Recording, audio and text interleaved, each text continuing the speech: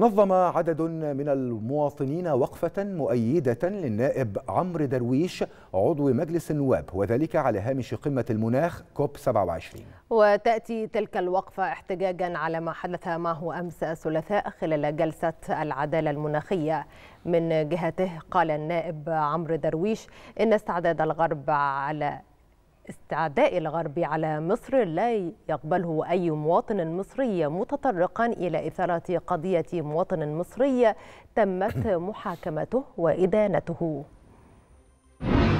إحنا الوقفه دي هنا علشان المؤتمر اللي معمول في شرم الشيخ بتاع تغيير المناخ اللي ما ينفعش أي قضايا سياسية تخش فيه بأي طريقة ممكنة ولا أي إهانة تحصل هنا.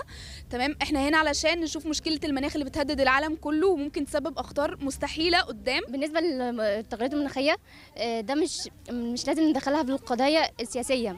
ده مجرد مؤتمر مناخي عادي خالص فما ينفعش يدخل في ملوش علاقة خالص بالقضايا السياسية. أنا جاية عشان أشارك في مؤتمر مناخ وأقول إن المؤتمر ده معمول مش عشان أي أي أي قضايا سياسية وأي حد عشان أي حد يطلع من السجن أو الكلام ده.